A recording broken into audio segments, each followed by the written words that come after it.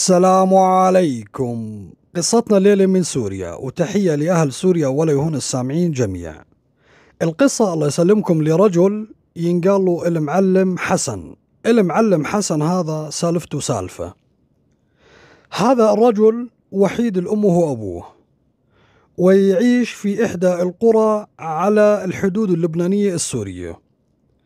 وبما أنه شاب وحيد الأم وأبوه فكان مدلل واللي وده إياه يصير. وهذا حسن من أول ما فتح عيونه على هالدنيا شاف أبناء القرية في معظمهم يشتغلون في التهريب. وكما يعلم الجميع بالنسبة للمناطق الحدودية في كل الدول آه الغالبية من أبناء هالمناطق هذه يشتغلون في التهريب. التهريب هذا له أشكال عديدة ومتنوعة منهم اللي يشتغل في تجارة وتهريب الأسلحة تهريب المخدرات الممنوعات حتى تهريب الألعاب. الشغلات اللي ما تكون موجودة فيها الدولة هذه وموجودة في الدولة الأخرى يتم العمل عليها. لذلك هذا حسن من أول ما فتح عيونه على هالدنيا أبناء عمه وأقاربه. ومختلف شباب القرية يعملون في التهريب وأمورهم المادية عال العال. ومعروف التهريب يدر أموال طائلة. لكن الرجل أبو حسن كان بعيد كل البعد عن سوالف التهريب لأنه التهريب في النهاية آه، ممنوع. وإذا انمسك الواحد يقضي له عدة سنوات في السجن أو يحصل مطاردة إطلاق نار بينهم وبين رجال الأمن. وياما انقتل ناس وانعطب ناس بسبب أمور التهريب. وفي النهاية الرجل ما يحب مخالفة القوانين لأنه التهريب خارج القانون ومخالف لكل القوانين والأنظمة العالمية. المهم تروح الأيام وتيجي الأيام وحسن بدأ يكبر ويشبشب ويفتح عيونه على هالشباب. اللي لابس أحسن لباس اللي راكب سيارة اللي عنده جرار زراعي. المهم بدأ يفكر في موضوع التهريب. وصار يطلع بعض الطلعات مع بعض الأقارب. وتدرب شوي شوي وأبوه لما صار يغيب هذا حسن وين يا حسن؟ وين قاعد تروح؟ وين تجي؟ في النهاية حسن شاف لابد أنه يصارح أبوه في هالموضوع أنه والله يا بابا أنا صرت أشتغل في التهريب. مثلي مثل شباب هالقرية. ويمسك أبوه هذاك اليوم وقال يا حسن مالك بهالسوالف. أنت وحيدي وأخاف عليك تحصل مطاردة يحصل إطلاق نار آه، تنقتل تنسجن. إحنا بغنى عن هالسوالف يا أبني وعندنا قطعة هالأرض. اللي نشتغل فيها تعال ساعدني فيها وخلينا نشتغل بالحلال وبلا لك سوالف التحريب لكن حسن هذاك اليوم جيبه مليان مصاري وطالع له أكثر من طلعة مع هالشباب. وشاف الفلوس وقال له يا بابا الأرض هذه ما تطعم خبز. وحالي حال هالشباب. اللي يصير على هالشباب يصير علي. وحاول أبو حسن وأم حسن جاهدين أنهم يثنون هالولد عن هذا العمل لكن بدون أي نتيجة. خلاص الولد انحرف. وصار مثله مثل غالبية شباب القرية. وبعد مدة من الزمن ضاع صيت حسن وصار يشتغل لحاله. بل بعد فترة صار عنده مجموعة من الشباب اللي يشتغلون معاه. وهو المسؤول عنهم هو اللي أمن لهم الطريق بعد ما تعلم وتدرب وصار من أمهر المهربين. وضاع صيته في هالقرية والقرى المجاورة وصار اسمه المعلم حسن. راح المعلم حسن وجاء المعلم حسن وصار تقريبا في الخمسة وعشرين سبعة وعشرين سنة من العمر. ويقوم هذاك اليوم يتقدم لخطبة إحدى فتيات القرية اللي كان حاط عينه عليها والآن صار يلعب بالفلوس لعب وصار عنده سيارة وأموره المادية عال العال ويتقدم لخطبة الفتاة ويتزوج. وبعد ما تزوج من هالفتاة هذه بحوالي سنة سنتين زمان الله سبحانه وتعالى رزقهم بمولودة. المولودة هذه سموها حسناء. وباللهجة العامية يقولوا لها حسنة. وصار المعلم حسن أبو حسنة وحسنة هذه ما شاء الله تبارك الله من أول ما جت بنوتة جميلة جدا. وأبوها بما أنه يشتغل في التهريب بين سوريا ولبنان يجيب لها من هالهدايا ومن هالألعاب اللي ما هي موجودة في سوريا. ويجيب لها من هالملابس الأجنبية. وبدأت البنت تكبر شوي شوي على دلال واللي تطلبه يصير. لكن حسن وزوجته بعد ما جتهم البنوتة حسناء ما عاد أنجبت هاي المرأة. حصل معاها عدة أمراض ومشاكل في الرحم وأصبحت غير قادرة على الإنجاب. وحسن هذاك اليوم رضى بالنصيب وقال لك اللي يجي من الله يا ما حلاه وأم حسنة خايفة هذاك اليوم أنه يتزوج عليها وتحاول أنها تطلع دائما بأبهى وأجمل صورة. لأجل حسن عيونه ما تزيغ برا علي على يمين ويسار. وفعلا حسن كان يحب زوجته ولا هو مفكر بامرأة غيرها. وقالها يا بنت الناس أنت مالك ذنب في هالموضوع موضوع الإنجاب وخلاص. الله سبحانه وتعالى أرزقنا بهالبنت. وأنت يا أم حسنة عندي ظفرك يسوى نسوان الدنيا كلها. وعاش هو وياها أيام سعيدة جدا. ويربون هالبنت كل شبر بنذر وشايفينها وما هم مصدقين بالإضافة إلى أبو حسن وأم حسن تقدموا شوي في السن. وحسن جاب عامل يشتغل في المزرعة مزرعة أبوه وقعد أبوه في البيت. ويعتنون بهالبنوتة الصغيرة هذه اللي عندهم اللي من إيد جدتها لإيد جدها لإيد أمها. بالإضافة إلى أنه المعلم حسن يشوف الدنيا بعين ويشوف بنته هذه حسنة بالعين الثانية. تروح الأيام وتجي الأيام وتمر الأشهر والسنين وصغير ما يظل صغير. حسنة كبرت دخلت في المدرسة المرحلة الابتدائية المرحلة الإعدادية وحسنة لما صارت في المرحلة الإعدادية. بدت عليها علامات الأنوثة. والبنت هي تكبر وتزداد جمال من أجمل بنات القرية. وعداكم عن أنه أبوها المعلم حسن وأضرب وأطرح وجنب عند دربه والمعلم حسن خلال هالسنوات هذه كون ثروة طائلة ويعمر له هذيش الفيل والقصر في مزرعة أبوه وأبوه ما لحق يتهنى هذاك اليوم بهالفيلا الجديدة لأنه توفي وبعد أسبوعين ثلاث الحقته أم حسن. رحمة الله عليهم. وظل حسن هو وزوجته وبنوته حسناء هذه. والبنت حسناء لما صارت في المرحلة الثانوية صار شباب هالقرية يتمنون النظرة من حسناء. والبنت جميلة وعز ورز وروحات وجيات على بيروت على لبنان على هالمناطق الجميلة بحكم أنه أبوها رايح جاي على لبنان وسيارة خاصة واللي تطلبه يصير. فكل شباب القرية يتمنون في يوم من الأيام أنه هذه حسناء تصير زوجة لواحد منهم. لكن البنت ما كانت تعير اهتمام لأي أحد. شايفة حالها ومغترة بجمالها. المهم البنت هذاك اليوم لما خلصت المرحلة الثانوية حصلت على علامات متدنية جدا. ما تأهلها أنها تدخل إلا بعض المعاهد المتوسطة. واختارت حسناء أنها ما تتابع الدراسة. قالت لك أبوها عنده فلوس وسيارات وقصر وأبوها من أشهر المهربين في هالمنطقة لذلك اختارت أنها ما تتابع الدراسة وتقعد فيها البيت وعلى طلعات وروحات وجيات على بيروت. كل يومين ثلاث وين حسناء؟ والله ببيروت. وين حسناء؟ والله بجبل لبنان. والبنت عايشة حياتها بالطول وبالعرض. فلوس واجدة. وهذا المعلم حسن ما يرد لها طلب. لكن الحلو ما يكمل. في يوم من الأيام وتصحى هالعائلة المعلم حسن وحسناء يصحون على زوجة حسن ولا متوفية بجلطة قلبية. أسعفوها إلى المستشفى لكن المرأة ظاهر متوفية من منتصف الليل وما هم حاسين عليها وانتقلت إلى رحمة الله عز وجل. حزنت البنت على أمها والمعلم حسن كذلك على زوجته لكن هذه سنة الله سبحانه وتعالى في خلقه. وكل نفس ذائقة الموت. الموت هذا كاس على كل الناس. في النهاية البنت بعد ما يعني انقضاء فترة الحزن آه، التعزية أبوها طلعها على لبنان قضوا لهم أسبوع زمان هناك لأجل البنت تغير جو ويحاول ينسيها. وبدأت الحياة تمشي بشكلها الطبيعي.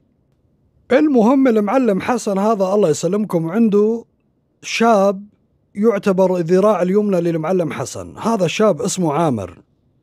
عامر شاب وسيم وجميل والطول وعضلات مفتولة ومثل البدي جاردية وعمره في هذاك الوقت تقريبا 25 إلى 26 سنة. المعلم حسن يعتمد عليه في غالبية الأمور الهامة والحساسة اللي يكشف فيها الطريق يشرف على صفقات التهريب والرجال مثل ما تقولون مطلع على كل أمور المعلم حسن.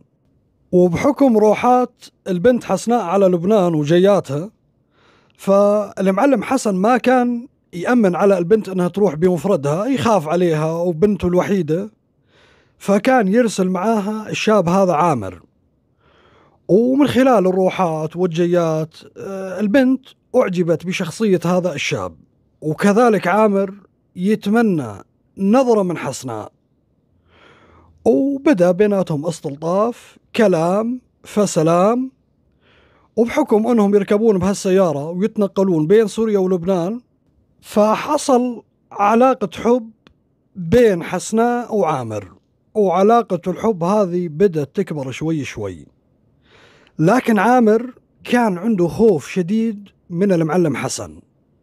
لأنه هذه بنت المعلم حسن وما هي مثل أي بنت من بنات القرية.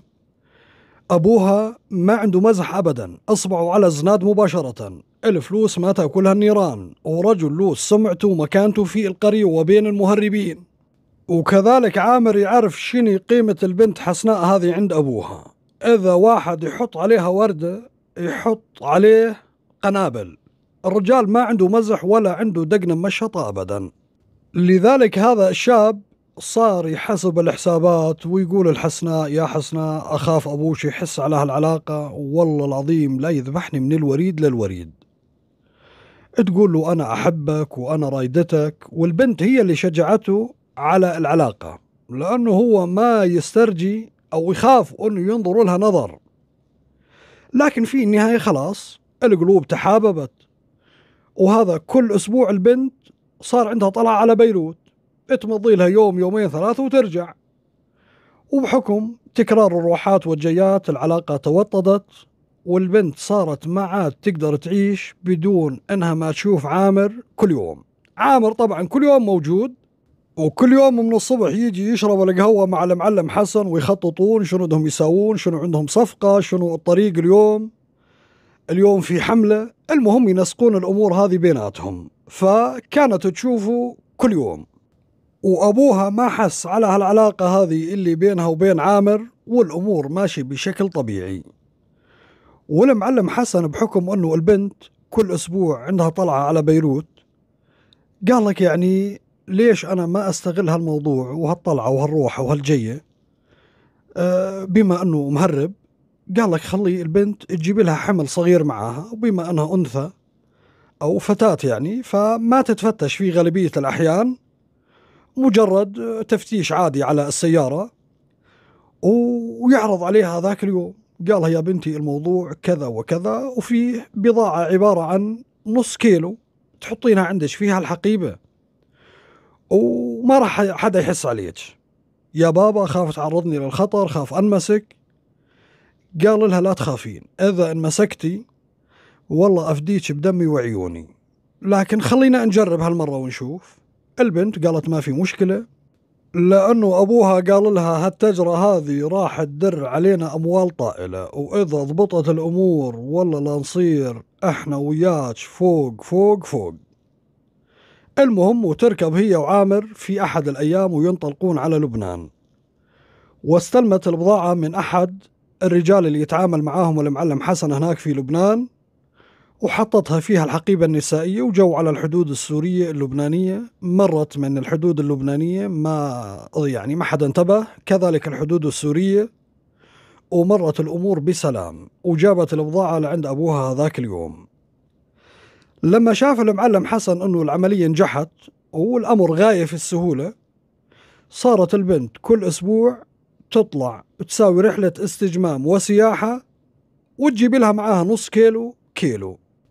وعامر طبعا على علم بهالسوالف ومن خوف عامر على البنت ويقوم يعرض عليها هذاك اليوم بينها وبينه. قال لها صراحة أنا أخاف عليك ما تعرفين شنو يصير حدا يبلغ العملية تنكشف. بدال ما تحطين البضاعة هذه عندك في الحقيبة خلينا نخبيها في مكان فيها السيارة تحت المقاعد الخلفية في الطبون البكاج الخلفي. المهم إنك ما تشيلين هالبضاعة أنت يا حسناء. وصراحة أنا خايف. إذا مسكتي السوالف هذه ما فيها مزح. فيها سجن 15 إلى 20 سنة ممكن توصل إلى المؤبد. وأنا ما ودي أخسرك يا حبيبة قلبي. قالت له اللي ودك يا. ما زال شايف الأمر فيه خطر علي. خلاص ما عاد أحط البضاعة هذه عندي في الحقيبة. والبضاعة هذه يعني من أنواع الحشيش والكوكايين والهوروين والمواد المخدرة هذه الممنوعة. ويمر شهر شهرين ثلاث سنة والأمور ماشية عال العال وحسناء كل أسبوع أسبوعين عندها حمل. والأمور ماشية عال العال ما حد اكتشف الموضوع ولا معلم حسن يوزع منها البضاعة ويقبض منها الدولار الأخضر وأموره صارت فوق فوق. لكن الحلو ما يكمل. وفي يوم من الأيام الظاهر فيه إخبارية على السيارة اللي راكبتها حسناء وعامر.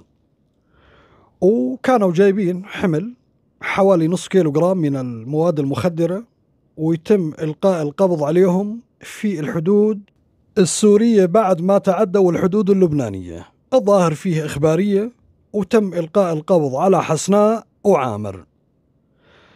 آه، طبعا المعلم حسن له ناسه في الحدود ويخبرونه هذاك اليوم قالوا ألحق يا معلم حسن. بنتك تم إلقاء القبض عليها هي والسائق عامر.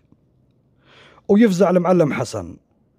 وعن طريق الناس اللي يعرفهم قدر إنه هذاك اليوم يقابل حسناء وعامر قبل لا يتم تحويلهم إلى المحكمة أو النيابة. وقبل لا يتم كتابة الضبط إنه البضاعة هذه لمن؟ المهم ويجي المعلم حسن هذاك اليوم وقدر يلتقي فيهم ويقوم يمسك عامر. قالوا يا عامر الآن لازم أنك تبين شجاعتك ووفائك وإخلاصك لي. قالوا أبشر بعزك يا معلم حسن. أنت تفصل وأنا ألبس. شنو المطلوب؟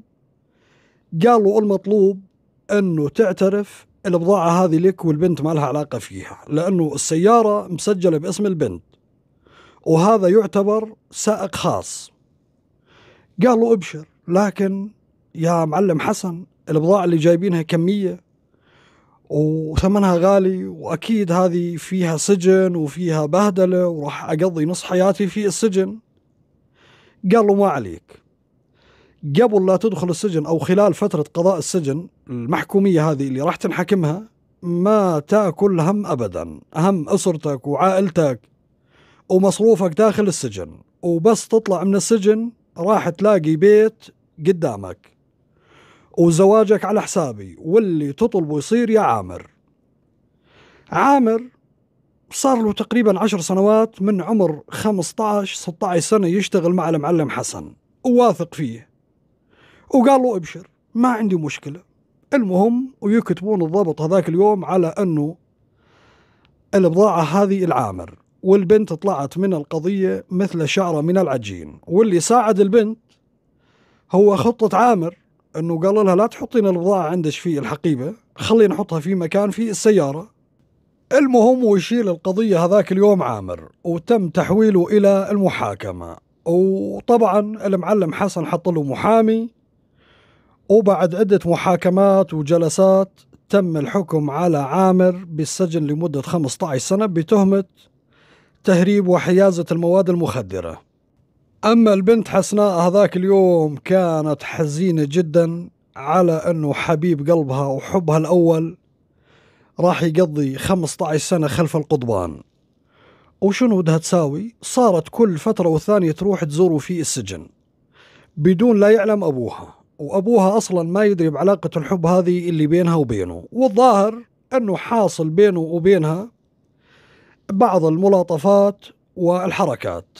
المهم كل فترة وثانية تروح تزوره وتشوفه وتاخذ له ألبسة وتعطيه اللي فيه النصيب من الخرجية بالإضافة إلى أنه المعلم حسن مسوي له راتب شهري اللي هذا عامر في السجن بالإضافة إلى أنه يصرف على عائلته اللي في الخارج لأنه هذا عامر هو المسؤول عن عائلته هو اللي يصرف عليهم وهو اللي يأمن لهم احتياجاتهم. وتروح الأيام وتجي الأيام. سنة سنتين. البنت هذه فكرت بعدين قالت لك شنو هالحب هذا وشنو هالعلاقة اللي أنا ودي أنتظر؟ 15 سنة. شنو 15 سنة البنت كانت في بداية العشرينيات 22 23 سنة؟ ولحد ما يطلع هذا عامر من السجن راح تكون صارت في الأربعينيات تقريبا نهاية الثلاثينيات. لذلك شوي شوي آه، صارت تناسى عامر. والبعيد عن العين بعيد عن القلب.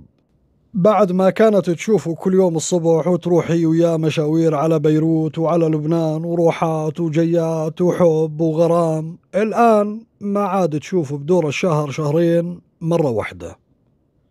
لذلك بدت علاقة الحب هذه تطفي شوي شوي وبعد مرور حوالي سنتين زمان. المعلم حسن تعرفون حاله حال المهربين أو غالبية المهربين ما يقتنعون من ضربة ولا ضربتين ولا ثلاث أنه خلاص صار عندنا مبلغ من المال ويكتفون فيه ويفتحوا لهم مشروع مثلا. لا هذا ما يعرف يشتغل شغلة ما يعرف إلا في التهريب. وصوصة التهريب هذه أصعب شغلة في الحياة. الطريق هذا لا مشي فيه الواحد من النادر جدا. بنسبة ضئيلة جدا تلاقي واحد أنه ترك هالطريق والتفت إلى حياته العادية ويمارس حياته بشكل طبيعي. حسن هذا بعد ما تم إلقاء القبض على عامر وعامر شال القضية. فكانت الحمولات اللي تجيبها البنت وعامر كانت تدر عليه مبالغ طائلة. وقرر هذاك اليوم أنه يترك التجارة في المهربات أو الأمور اللي كان يهربها عبر الحدود آه، على الحمير الله يعزكم ولا اللي يهربونها الاشخاص لأنه فيها مخاطرة وفيها إطلاق نار تبادل إطلاق نار بينهم وبين رجال الأمن حرس الحدود اللبناني والسوري. فقرر هذاك اليوم إنه يمشي على نفس الطريقة هو وبنته. وصار يروح هو وبنته على لبنان بعد ما هديت الأمور وشبه إنه يعني طفت السالفة وطفى الخبر. ويقوم يرجع كذلك يصير يجيب هالكميات هذه من لبنان إلى سوريا. أول مرة ثاني مرة ثالث مرة ويتم إلقاء القبض عليه هذاك اليوم هو والبنت. في إحدى المرات جايب حوالي كيليين من المواد المخدرة ويتم إلقاء القبض عليه عن طريق إخبارية وتم إحالته إلى السجن والمحاكمة.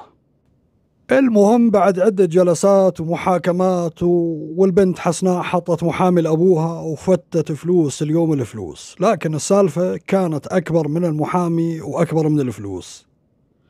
ويتم الحكم على المعلم حسن هذاك اليوم بالسجن لمدة عشرين سنة مع الأعمال الشاقة. بالإضافة إلى مصادرة أملاكه. لأنه الأملاك هذه اللي كانت عنده الفيلا والسيارات كلها حاصل عليها بطرق غير مشروعة. وظلت حسناء الآن إيد من ورا وإيد من قدام. ما عندها سلاح وذخيرة إلا هالجمال اللي تمتلكه الجمال الفتان. حبيب القلب الآن خلف القضبان. وأبوها خلف القضبان. محكوم عليه عشرين سنة. تصادرت الأملاك. وشنو ودها تساوي ما عاد تعرف. وتروح تعيش عند جدتها أم أمها. ما زالت عايشة امرأة متقدمة في السن. وقعدت عند جدتها تخدمها وتدير بالها عليها وكل فترة والثانية تروح تزور أبوها. أما بالنسبة لعامر عامر بعد هالحادثة هذه اللي صارت والبنت صارت إيد من ورا وإيد من قدام لا فلوس لا فيلا نست عامر من أساسه. إذا في حدا اسمه عامر نسته. وبعد مرور حوالي سنة زمان ويتقدم لخطبة البنت أحد رجال القرية. رجل كذلك له مكانته في القرية. وكان على علاقة وثيقة مع أبوها لكن هذا الرجل اللي ينقال له محي الدين هذا الرجل تاجر يشتغل في التجارة وما له بسوالف التهريب أبدا. لكن بحكم الجيرة وأنهم أبناء قرية واحدة فكان هذا محي الدين يلزم بعض الأغراض ويوصي عليها المعلم حسن يجيب له إياها من لبنان. في بيناتهم صداقة والآن الرجل أصبح خلف القضبان في السجن. ويقوم هذا يتقدم لخطبة الفتاة والبنت شافت أنه هذا الزوج المناسب. ليش؟ لأنه محي الدين رجل تقريبا في وأربعين ستة وأربعين سنة ورجال عنده فلوس ما تأكلها النيران متزوج وهي راح تكون الزوجة الثانية. لكن كل وحدة راح تسكن في بيت منفصل. البنت وافقت على الزواج وقالت لك ممكن هذا الزوج اللي راح يسعدني وراح يأمن لي الرفاهية اللي كنت عايشتها عند أبوي.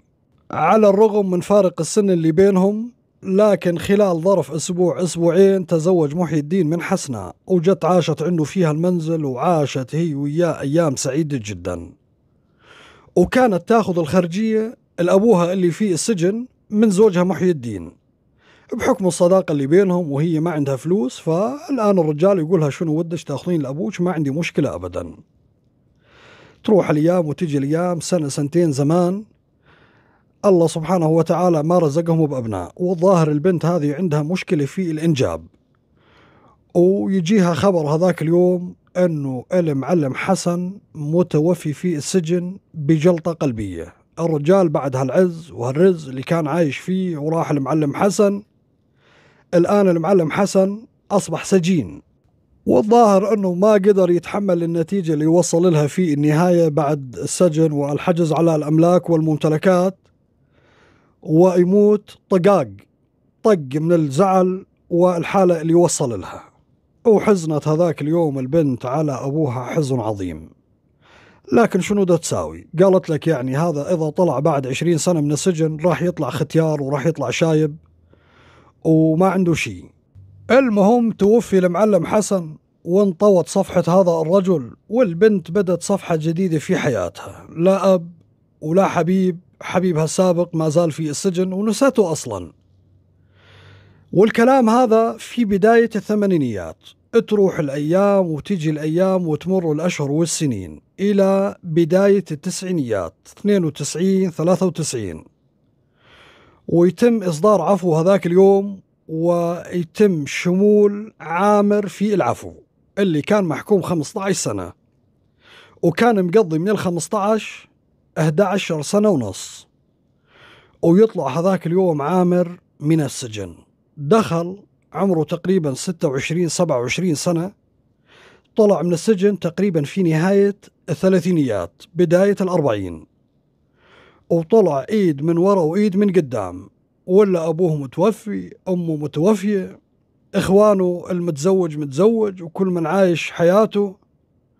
وهذا طلع ما عنده شيء. المهم لما جاء على هالقرية واستقبلوه إخوانه وقضى عندهم يوم يومين ثلاث. وبدأ يسأل عن البنت حسنة. قالوا حسنة انتقلت هي وزوجها على دمشق. منو زوجها؟ قالوا تزوجها محي الدين أبو فلان. قال أيوة سبحان الله ما لنا بالطيب نصيب. وبدأ هذا الشاب عامر يسأل عن العنوان اللي ساكنة فيه البنت حسناء في دمشق. وبعض الأسئلة من هنا من هناك بعض سكان القرية قالوا والله ساكنة في الحارة الفلانية في دمشق في أرقى المناطق.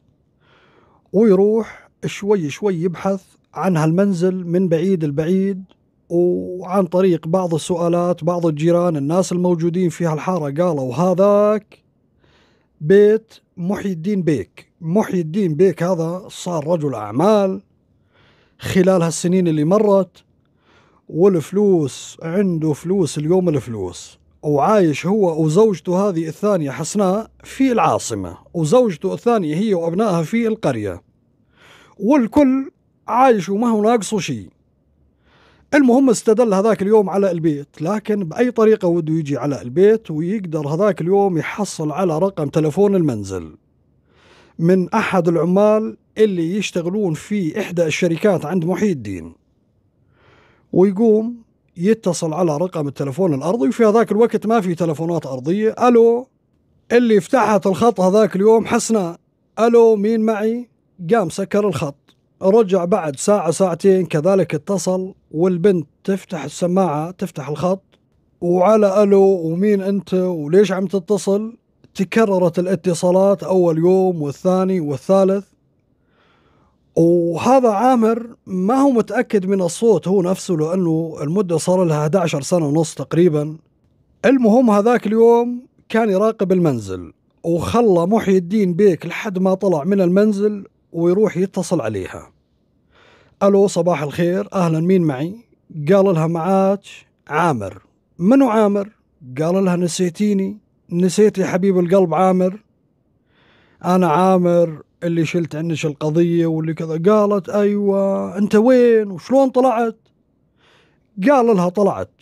تم إصدار عفو. وأنا كنت من المشمولين بالعفو. الحمد لله على السلامة وحياك الله. وشنو أخبارك؟ قالها والله أخباري ما تسر لا عدو ولا صديق. خير شنو الموضوع؟ قالها طلعت إيد من ورا وإيد من قدام أبوي وأمي متوفين واخواني كل من عايش حياته وما عندي حق أكل. قالت ابشر بعزك شنو المطلوب؟ قال لها المطلوب ودي أشوفك قبل كل شيء. مشتاق إني أشوف عيونك الحلوة. قالت يا عامر الله يرضى عليك لا تسوي لي مشاكل. أنا تزوجت وانسترت وعايشة حياتي مع زوجي. الله يرضى عليك لا تسوي لي وجع راس. قال لها لا أسوي لك وجع راس ولا تسوي لي وجع راس. خليني ألتقي أنا وياك وأكحل عيوني بشوفتك ونتفاهم أنا وياك على بعض الأمور. على شنو نتفاهم؟ قال لها بس نلتقي أنا وياك أفهمك. قالت ماشي بس الله يرضى عليك لا عاد تتصل. خلينا نحدد موعد في أحد الأماكن البعيدة عن هالمنطقة ويفضل إنها تكون خارج دمشق. أخاف زوجي هذا يحس والله العظيم يذبحني أنا وياك ويشرب من دمنا. لأنه هذا رجل واصل وما عنده مزح أبدا. الله يرضى عليك. ويحددون موعد هذاك اليوم في أحد الأماكن خارج دمشق أحد المطاعم البعيدة ويلتقي هو وياها ولا البنت ما شاء الله تبارك الله لما شافها صايرة أجمل من قبل. وهذا عامر الشيب مزروع بلحيته وبشعره وما هو عامر الأولي والعضلات المفتولة رايحة والنفسية متحطمة. شنو واحد يعني طالع من السجن بعد 11 12 سنة؟ شلون بدها تكون حالته؟ المهم وتقوم تعطيه مبلغ من المال أربع خمسة آلاف ليرة سوري وقالت يا عامر خذ هالمبلغ ودبر حالك فيه وأرجوك لا عاد تسوي لي مشاكل وخليني أعيش حياتي. قالها شنو أربع خمسة آلاف أنا شلت قضية وقضيت نص عمري في السجن وأبوك وعدني وقالت أبوي مات. أنا شنو علاقتي بأبوي؟ صحيح شلت قضية عني. لكن خلاص السالفة راحت وأنت طلعت وعيش حياتك يا أخي. أنا شنو بدي أسوي لك؟ قال لها تقدرين تسوين الكثير. زوجك هذا عنده فلوس ما تاكلها النيران لذلك هاي الأربع خمسة آلاف ليرة راح أخذهن الآن لكن هذن يعتبرن حق فنجان قهوة. ودك تدبري لي مبلغ مليون ليرة سوري. يا ابن الناس يطولك يقصرك مليون ليرة سوري في هذاك الوقت في بداية أو منتصف التسعينيات يعتبر ثروة 20 إلى 25 ألف دولار. يعني مو أي شخص يقدر يمتلكهن. يا عامر يطولك يقصرك قالها هذا اللي عندي. وإذا ما أعطيتك؟ قالها إذا ما أعطيتيني أروح أفتح القضية من أولها لآخرها واسولف زوجك إنه بيني وبينك كان في علاقة حب. وبعدين أنت بغنى عن هالمشاكل ووجع الراس. مليون ليرة سوري من طرف الجيبة. عندك وعند زوجك هذا محي الدين. وبعدين أنت يا حسناء خنت العهد والوعد اللي بيني وبينك. قالت أنا ما خنت لا عهد ولا وعد. أنت انسجنت و15 سنة. أنت من كل عقلك أظل أنا أنتظرك 15 سنة. ويمكن تموت. وفي النهاية تقدم الخطب هذا الرجل ولي نصيب. وتزوجت أنا وياه والله يرضى عليك يا محي الدين لا تسوي لي مشاكل. قال لها مطلوب منك مليون ليرة سوري وإلا راح تشوفين شيء ما يرضيك ابدا. وانتهى اللقاء هذاك اليوم وقال لها إحنا على اتصال. صار عامر كل يوم يتصل على البنت. لما محي الدين يرفع سماعة التلفون عامر ما يسولف. لما البنت ترفع سماعة التلفون يطالبها بالفلوس وهي تساوي حالها أنه حدا مخربط برقم التلفون. محي الدين رجل تاجر وذكي فانتبه أنه الاتصالات هذه ما هي مضبوطة. ومسك حسناء هذاك اليوم قالها يا حسناء السالفة ترى ما هي سالفة واحد مخربط كل يوم والثاني وكل يوم الاتصالات هذه تتكرر. شنو السالفة؟ قالت والله مثلي ومثلك يا محي الدين أه، ظاهر في خربطة وفي هذاك الوقت تحصل مثل هالأمور يعني. لكن محي الدين ما اقتنع بهالسالفة وحاول يفهم من حسناء منو هذا اللي قاعد يتصل عليهم. وحسناء تنكر ونسوا الموضوع. لكن اللي حصل بعد حوالي أسبوع زمان ومن كثر الإتصالات قامت هذاك اليوم البنت قالت لك خليني أأمن له جزء من هالمبلغ وأخليه يسكت عني فترة من الزمن أحسن ما يسوي لي مشكلة لها أول ما لها آخر. وطبعا عامر بنفسه أنه يلتقي معاها لقاء بعد هالسنين الطويلة هذه لقاء عاطفي ولما حلها. قالت له عيب عليك وأنا امرأة متزوج وخلاص المبلغ أحاول أأمن لك إياه وتقوم بعد اتصال منه هذاك اليوم. قالت له زوجي يطلع الصبح وما يرجع بعد الظهر من المكتب. لذلك تعال لعندي بعد بكرة يوم الخميس. وزوجي يوم الخميس يكون مشغول جدا. تعال لعندي على البيت ونشرب أنا وياك فنجان قهوة وأعطيك اللي فيه النصيب وكل من يروح في طريقه. قالها أوكي. ويوم الخميس هذاك اليوم يجي عامر على الموعد.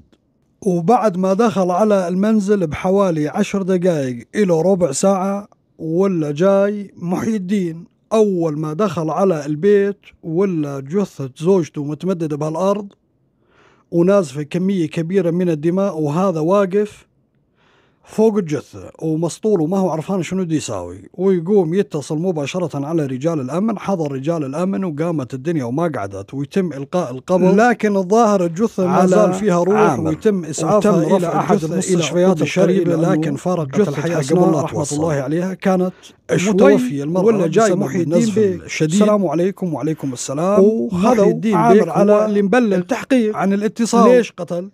قالهم يا جماعة والله أنا ما قتلت. شلون ما قتلت؟ هذا الرجل دخل على المنزل و... ولقاك فوق الجثة. قالهم إي نعم أنا دخلت بس أنا ما قتلت. قالوا وأنت تضحك علينا يعني تسولف مع أولاد صغار ولا كذا. والله العظيم نحطك على بساط الريح ونخليك تصيح وما تستريح. يا جماعة والله أنا ما قتلتها وليش بدي أقتلها أصلا؟ أنا جاي أخذ منها مبلغ من المال. وليش وشنو اللي بينك وبينها لحتى تاخذ مبلغ من المال؟ قالهم يا عمي اسمع والسالفة من أولها لآخرها.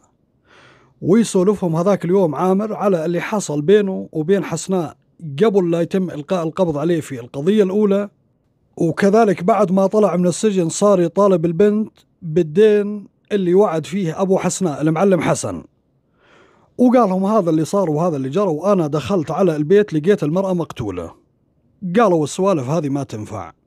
وبناء على إفادات عامر بدأ رجال الأمن يحققون فيها القضية.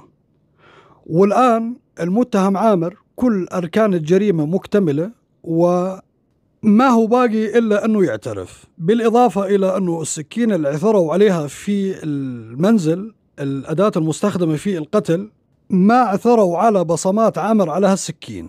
قالوا لك السالفة معناته فيها إنه ممكن أنه هذا الولد ما يكون هو القاتل وبدأوا يفتشون في المنزل. وبحكم أنه هذا الشاب بينه وبين المرأة المقتولة هذه علاقة سابقة وقالوا لهم تقدرون تتأكدون من خلال الاتصالات أرقام التلفون.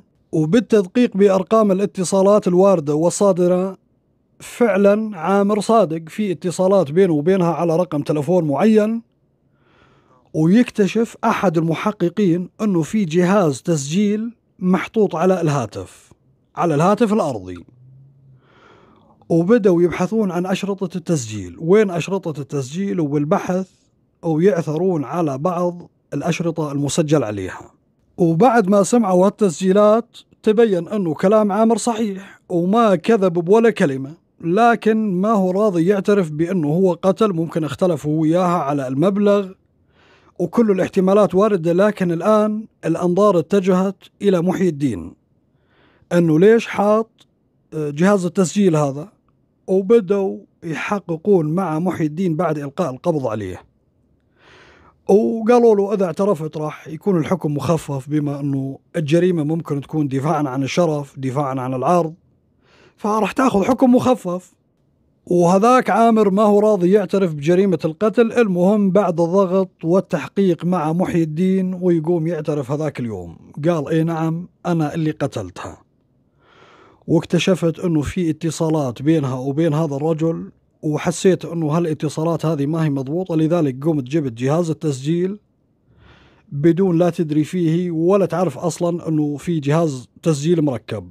وفي هذاك اليوم اكتشفت أنه عامر راح يجي في اليوم الثاني يوم الخميس وأنا طلعت على أساس إني طالع على الشركة على شغلي كالعادة لكن بعد ما طلعت بحوالي ساعتين زمان وأرجع على البيت ويحصل بيني وبينها ملاسنة. لأني لما دخلت على المنزل كانت متوقعة اللي داخل هو عامر واكتشفت خيانتها مع هذا الرجل وبناء عليه ما قدرت أستوعب هذا الأمر وسحبت السكين وسددت لها عدة طعنات وقتلتها. وأنا عارف أنه عامر راح يجي فيها الوقت المعين. وبعدها طلعت من البيت وانتظرت لحد ما جاء عامر حبيب القلب السابق. وبعد ما دخل جيت وراه مباشرة على أساس أنه أنا توني داخل ومكتشف جريمة القتل. وبناء عليه تم الإبلاغ عن هالجريمة وبناء على اعترافات محي الدين تم تقديمه للمحاكمة. وعامر تم إطلاق سراحه مباشرة بما أنه ما له علاقة فيها الجريمة لا من بعيد ولا من قريب. وبناء على تقرير الطب الشرعي بعد تشريح جثة حسناء الله يرحمها تم اكتشاف أنه ما هو حاصل أي علاقة جنسية بين عامر وحسناء. وتم تقديم محي الدين للمحاكمة. وبعد عدة جلسات تم الحكم على محي الدين بالسجن المؤبد بتهمة القتل العمد مع سبق الإصرار والترصد. وكانت هذه نهاية القصة. القصة فيها الكثير والكثير من العبر اللي نستخلصها من خلال مجريات وأحداث هالقصة. أنتظر تعليقاتكم على مجريات وأحداث القصة. بارك الله فيكم. وفي النهاية لا تنسونا من اللايك والاشتراك. سبحانك اللهم وبحمدك. أشهد أن لا إله إلا أنت. أستغفرك وأتوب إليك. دمتم في رعاية الله وحفظه.